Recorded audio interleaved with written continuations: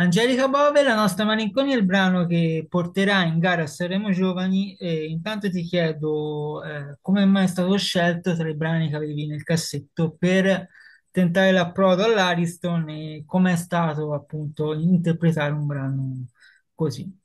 Ma l'abbiamo capito subito, ehm, ovviamente chi l'ha scritto ci ha messo, ci ha messo tutta, eh, tutta la professionalità del mondo, cioè sono dei grandi professionisti, in quanto grandi professionisti hanno fatto un bel capolavoro e io quando, quando ho sentito la demo me ne sono subito innamorata, ho subito pensato è lei, è lei, quindi è andata così.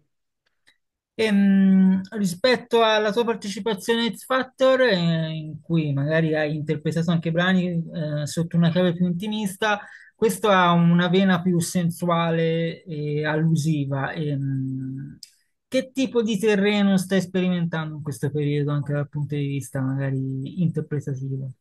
Ma in questo periodo sono, eh, mi sento molto sperimentale, però con quello che è poi la mia personalità, quindi quello, quello che porto nei pezzi in questo periodo è- non è altro che, che tante delle mie sfaccettature. In questo periodo mi sento un po' così, un po' sensuale, un po' schietta, come sono io, solo che questo periodo ho voglia di, di mostrarlo.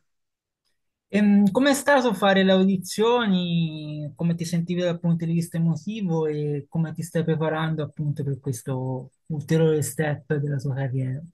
Ma le audizioni le ho vissute sorprendentemente bene, molto emotivamente parecchio serena, con la giusta agitazione per, per essere un po' più performante, e soprattutto perché non era la mia prima volta in un contesto televisivo e su un palco di fronte a delle persone che poi dovranno giudicarti. Quindi sicuramente il fatto che ho fatto un talent mi è, mi è servito tanto di, di lezione e di esperienza e quella fa sempre bene. E invece che tipo di rapporto hai col Festival di Sanremo, se c'è un brano al quale sei particolarmente legato? Ma al Festival di Sanremo mi ci sono avvicinata recentemente, da quando insomma è stato messo anche sui social, in quanto eh, generazione Z ovviamente eh, capito sui social e quindi mi ci sono avvicinata così ed è stato molto figo.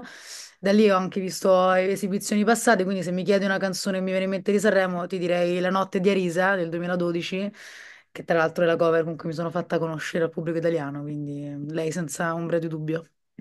E, mh, che tipo di lavoro stai facendo in questo periodo e cosa è previsto magari nei prossimi mesi, a prescindere eh, dall'eventuale appunto approdo all'Ariston?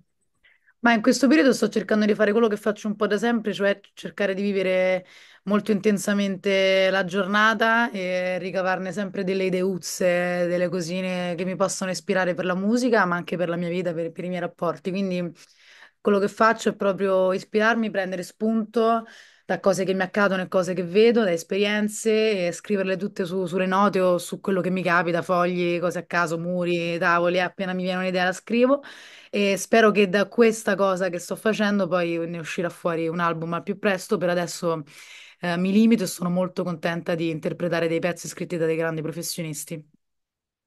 Bene, quindi in attesa di ascoltare nuova musica ti facciamo il nostro in bocca al lupo per questa avventura che ti attende, con la speranza magari di risentirci a febbraio. Viva il lupo, grazie di tutto, grazie delle interviste, Edoardo, grazie.